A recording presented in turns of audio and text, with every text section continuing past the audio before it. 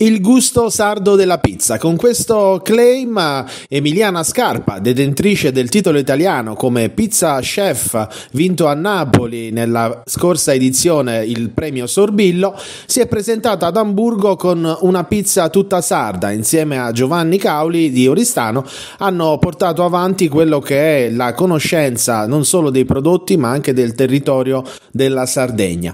Classificandosi seconda ha sfiorato anche il titolo europeo europeo che comunque la porterà il prossimo ottobre a Roma per i campionati mondiali.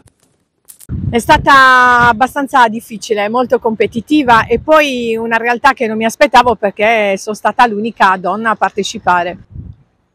Gli ingredienti che hai portato ad Amburgo per rappresentare la nostra Sardegna? Gli ingredienti sono stati eh, appunto praticamente sardi, tutto sardo, eh, dal formaggio, eh, dai formaggi alle materie prime ehm, come la, mm, l'anguilla affumicata, eh, la salicornia, eh, lo stinco di maiale ehm, e il beverage.